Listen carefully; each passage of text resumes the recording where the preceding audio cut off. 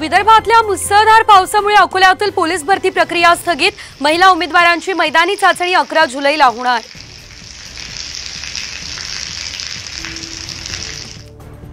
येत्या चोवीस तासात मुंबई आणि परिसरात अतिमुसळधार पावसाचा इशारा कोकण आणि विदर्भात रेड अलर्ट.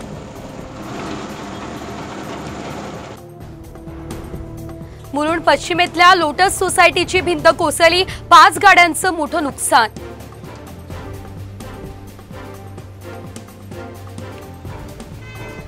रस्त्यावरच्या खड्ड्यात पडून दीड वर्षांच्या चिमुकल्याचा मृत्यू पालघर जिल्ह्यातल्या बोईसरमधली घटना. संतप्त नागरिकांचा रास्ता रोको. पुणे मुंबई एक्सप्रेस रद्द झाल्याने बस स्थानकांवर मोठी गर्दी. मुंबईमधील पावसाचा पुणेकरांना फटका.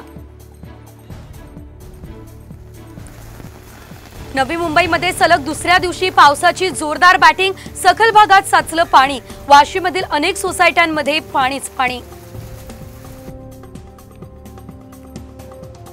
रत्नागिरी जिल्ह्यात पावसाचा जोर कमी झाल्याने पूरपरिस्थिती नियंत्रणात सर्व नद्या अजूनही इशारा पातळीवर.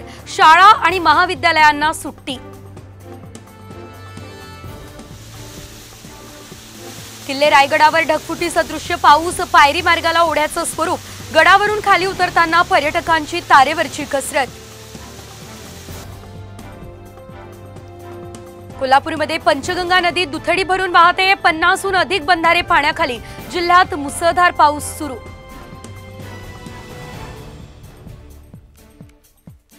पिपाणी चिन्हासंदर्भात शरद पवार यांच्या राष्ट्रवादीच्या याचिकेवर आज सुप्रीम कोर्टात सुनावणी.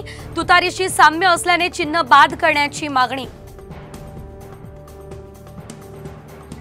नांदेडमध्ये जरांगींच्या रॅलीच्या पार्श्वभूमीवर शाळा महाविद्यालयांना सुट्टी शिक्षणाला अडथळे होत असल्याने रॅली थांबवा सदावर्तेंची मागणी.